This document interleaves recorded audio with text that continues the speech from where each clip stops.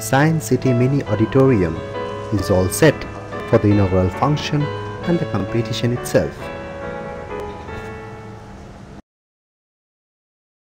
languages, cultures. But when we unite in such seminar, we feel that we are one. The year 2004 has been declared as a year of science awareness.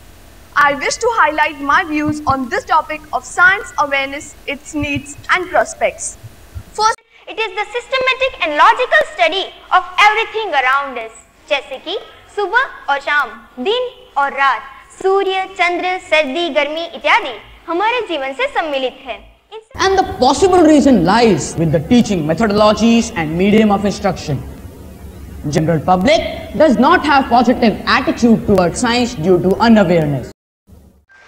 The nine Merit Scholarship second prizes Deep Shikha Dash, Tripura.